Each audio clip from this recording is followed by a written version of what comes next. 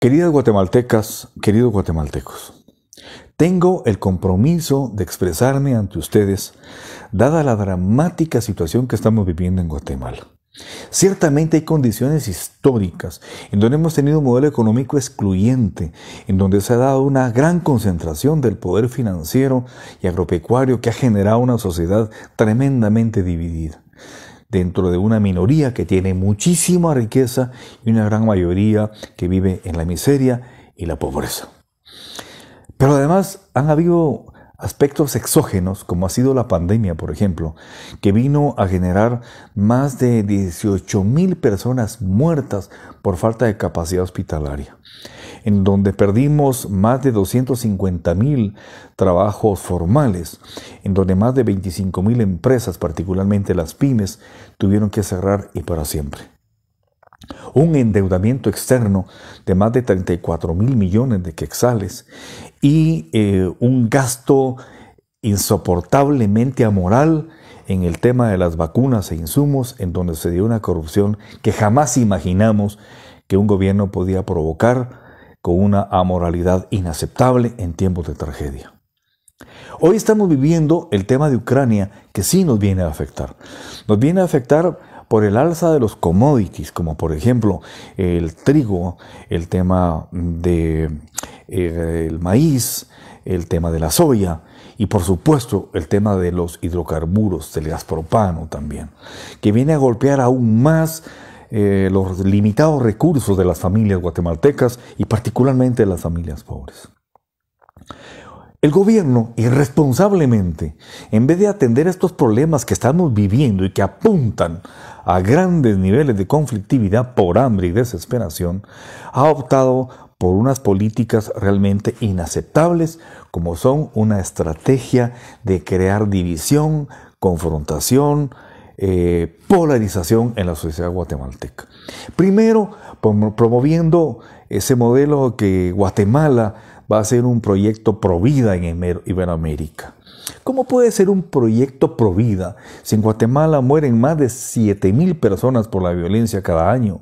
Si en Guatemala mueren más de 18 mil niños por mortalidad infantil cada año.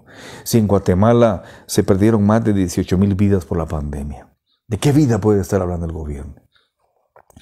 Pero más perversa ha sido el planteamiento del decreto 18-2022, eh, que es una ley, según ellos, para la protección de la vida y la familia, con temas confrontativos que sabían que iban a ser distractores en un momento álgido de nuestra crisis socioeconómica, como temas como por ejemplo el aborto, el tema de la educación sexual en los colegios y las escuelas, el tema por ejemplo del matrimonio entre personas del mismo sexo.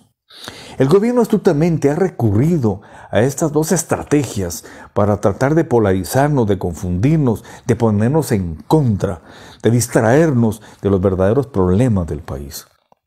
Hay mucha hambre en Guatemala.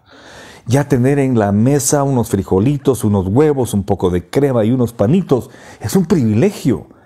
Ya miles o millones de guatemaltecos, miles de familias no lo logran hacer. La escalada en los precios en los combustibles, por ejemplo, en el gas propano, en los servicios, está golpeando en una forma inhumana a toda la población nacional. Guatemaltecos, guatemaltecas, no nos dejemos engañar más. La situación se va a ir presentando cada vez muchísimo más compleja, muchísimo más grave. Vamos a enfrentar experiencias que jamás habíamos vivido. Vienen tiempos muy difíciles.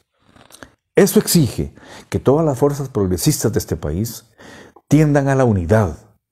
Tenemos que buscar puntos de encuentro entre aquellas personas, entre aquellas instituciones, entre aquellos grupos sociales que tenemos el mismo objetivo, superar esta tragedia nacional, expulsar de una vez y para siempre a esa partidocracia corrupta y a esa mafia nacional e internacional que los está financiando.